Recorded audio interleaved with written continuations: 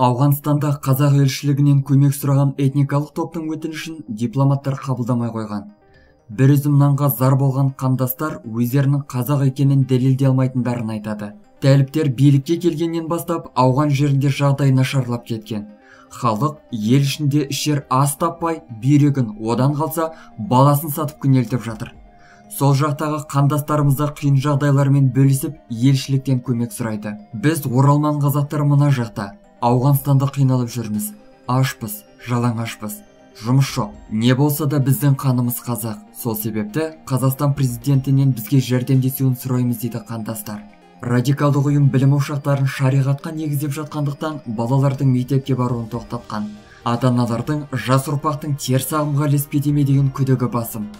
Құжатсыз болса да өздерінің қазақ екендерін дәлелдеуге бекініп отырған қандастарымыз өз ұлтының көмегіне зәру екендерін айтады. Сыртқы істер министрлігі болса бұл сауалға өздерін қазақпыз дейтіндердің саны артты деп жауап берді. Ауғанстандағы елшілік өтініш берген азаматтарды мұқият тексеретінін хабарлаған.